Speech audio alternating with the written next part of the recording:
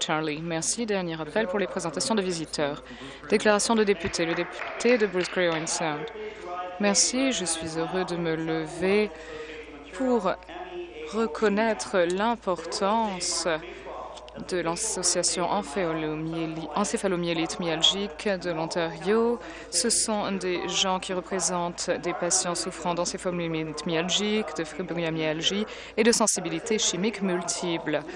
Il y a de nombreuses personnes qui en souffrent en Ontario, pardon, plus de 500 000 d'entre elles exactement. Et donc, c'est vraiment important de souligner la création d'un centre d'excellence à cet effet qui permettra d'offrir aux patients les soins dont ils ont besoin et de faire des recherches importantes concernant ces maladies. Et donc, le ministère n'a pas encore vraiment donné son approbation à la construction d'un tel centre d'excellence mais il faut absolument s'assurer que la construction d'un tel centre soit financée, et ce, dans l'intérêt des patients qui souffrent de telles maladies chroniques dues à leur environnement et qui sont des maladies très graves. donc, j'aimerais vraiment remercier l'association pour son travail exceptionnel et nous avons hâte d'entendre une mise à jour concernant l'approbation de la construction de ce centre. Merci, la députée de Welland. Merci, je suis heureuse de me lever pour parler de problèmes causés par les compressions qu'a effectué ce gouvernement dans le secteur des soins de santé. Alors malheureusement, cela vaut aussi pour le secteur de l'éducation. Les enseignants sont en grève et il y a plus d'un million d'élèves qui ont été touchés d'une manière ou d'une autre par ces grèves. Et dans ma circonscription, il y a 294, pardon, il y a la section locale 294 du SCFP qui est en grève depuis plusieurs semaines déjà.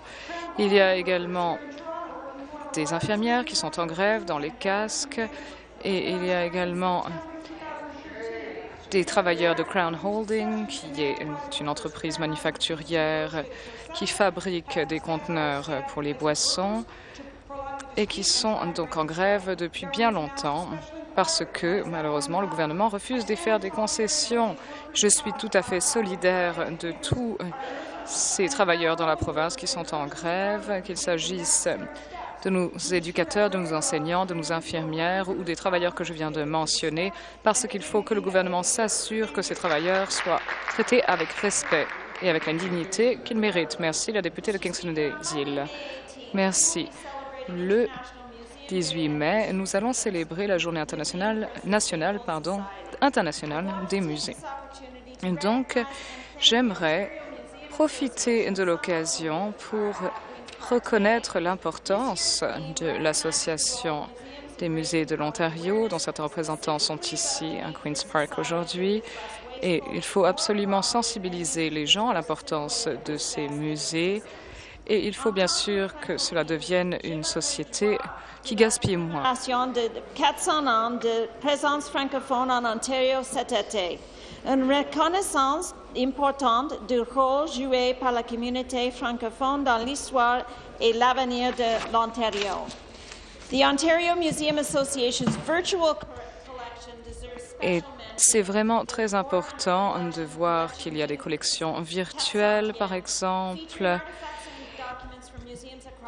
qui marque justement cet événement, ce 400e anniversaire de la, province, de la présence francophone en Ontario. Et c'est important de visiter ces expositions. Il y a de telles expositions un peu partout dans notre province. Les musées ont une importance très grande pour l'économie de notre province. Ils stimulent le secteur touristique. Et merci à vous tous de préserver notre patrimoine culturel et de sensibiliser la population à l'histoire. Merci, le député de Lambton-Kent Middlesex. Merci, je suis bien désolée d'avoir à me lever une nouvelle fois pour présenter mes condoléances aux Népalais, qu'ils soient dans leur pays ou partout dans le monde, après le tremblement de terre dévastateur du 25 avril qui a coûté la vie à 8000 personnes dans le nord de l'Inde, au Népal. Il y a eu un tremblement de terre de plus, malheureusement, et c'était un tremblement de terre d'une intensité de 7,3 sur l'échelle. Et c'est vraiment un désastre, une catastrophe absolument incroyable de par son envergure et j'aimerais vraiment, au nom du chef de mon parti et de tout mon groupe parlementaire, présenter mes sincères condoléances à tous les Népalais qui sont touchés par cette catastrophe. Et de nombreuses personnes sont forcées de passer la nuit dehors car elles craignent que les bâtiments et les maisons ne s'écroulent. Et c'est vraiment incroyable l'échelle de cette dévastation et de ce désastre qui a frappé ce pays. C'est une chose qu'on ne peut même pas imaginer aussi en Ontario. Et bien sûr, nos prières et nos pensées vont à ces gens. Merci. Le député de Windsor-Tecumseh. Alors voilà euh, les dernières nouvelles. Les Ursulines ont donné 300 000 dollars à la symphonie de Windsor. Les Ursulines sont vraiment un, ordre très important de religieuses dont la présence remonte à 1915. Elles ont déjà financé de nombreuses institutions locales, telles que des écoles et des écoles de musique, et maintenant la symphonie. Donc c'est vraiment important de souligner leur contribution. Et comme vous le savez, malheureusement, le gouvernement est en train de retirer des fonds aux productions hollywoodiennes. Bon, ce n'était pas une production hollywoodienne dans ma circonscription la fin de semaine dernière, mais il y avait quand même un film qui avait été projeté qui s'appelait euh, L'assassinat. Et donc c'est un film qui a été tourné au niveau local et c'est un film qui raconte l'histoire d'une rivalité entre deux personnes qui travaillent au département d'ornithologie. Et vous voyez, cela me rappelle un peu la situation à Queen's Park. Chris Curley et Patricia Rousseau ont, gagné un prix très important à la compétition des ambulanciers paramédicaux qui a eu lieu à Durham. Et donc, c'est vraiment important de souligner qu'ils ont gagné ces prix. Merci beaucoup.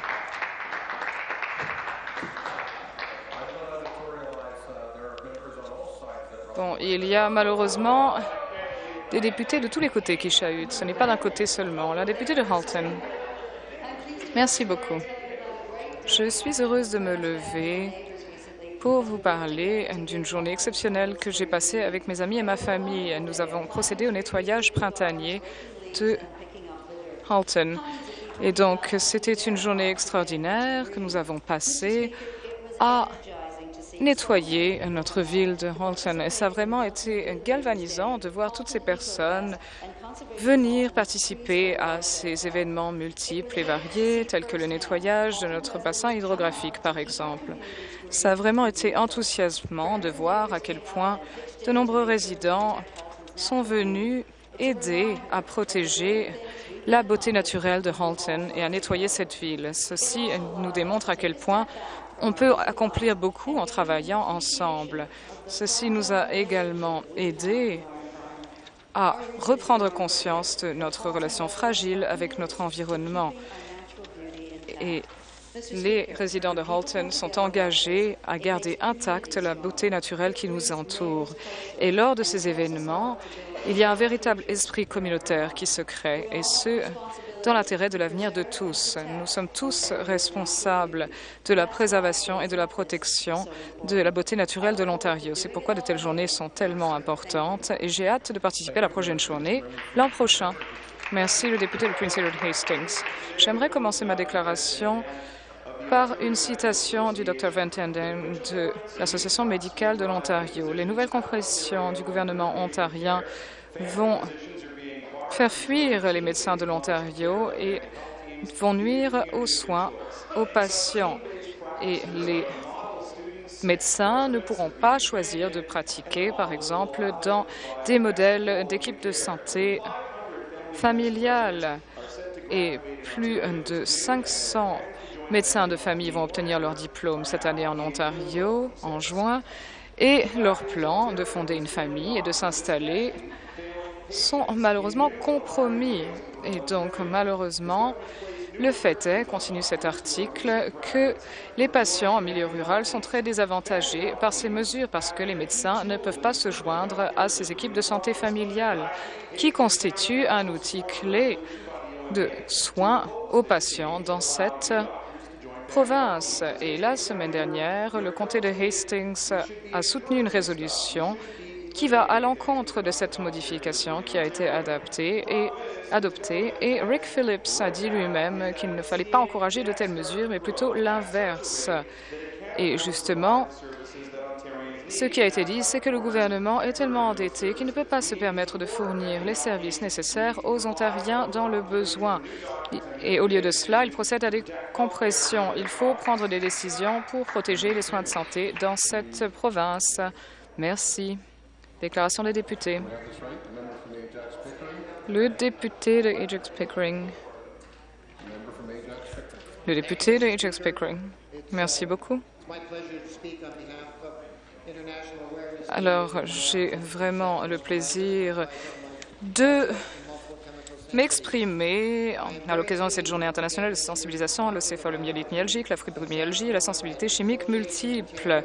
Je suis heureux également que nous accueillions l'Association encéphalomyélite myalgique de l'Ontario et sa présence aujourd'hui, justement, marque la Journée internationale de sensibilisation à l'encéphalomyélite myalgique, la fibromyalgie pardon, et la sensibilité chimique multiple.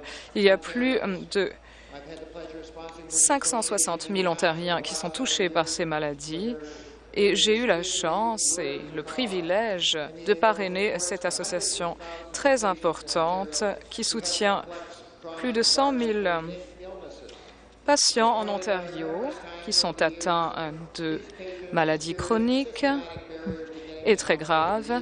Et donc, ces dernières années, ces patients ont malheureusement fait l'objet d'un manque de traitement et d'options de soins. Donc c'est vraiment un problème. Et il y a à peu près un an et demi, il y a eu une analyse de, une analyse de rentabilité qui a été effectuée. Et donc, le ministère a pu se consacrer à la formation d'un groupe de travail à la suite de la réception de cette analyse. Et nous demandons au gouvernement et au ministère d'agir rapidement en ce sens. Merci, la députée de York Southwest. Merci beaucoup. Alors, je suis heureuse de me lever, mais j'ai le corps gros, bien sûr, parce que Rogers Media, jeudi dernier, a annoncé que certains un programme qui s'attachait à la diversité linguistique allait être supprimé. Et c'est vraiment bien dommage. J'ai moi-même été employée au sein d'un tel programme. Et je pense que mon chef à l'époque aurait vraiment été très, très choqué de voir que ces programmes avaient été démantelés. Et donc, c'était un organisme qui s'appelait Omni, et c'était un organisme qui vraiment a fait conscience du besoin de notre population multiculturelle et diverse de programmes adaptés à ses besoins. Et Ted, qui était mon ancien chef, a vraiment contribué à la production de nombreuses émissions dans 32 langues différentes. Et donc, il y a eu euh, vraiment des de grands profits qui ont été réalisés et de grands bénéfices, et c'était très populaire. TED est mort en 2008 et les budgets ont fait l'objet de compression en 2012 et 2013. Et maintenant, jeudi dernier, on a donné le coup de grâce à ces programmes. Et j'aimerais vraiment que l'on puisse s'organiser au niveau communautaire pour exprimer notre opposition à l'annulation de ces programmes. Nous sommes tous venus de pays divers et variés. Nous avons le droit à ces programmes. Merci beaucoup à tous pour vos déclarations.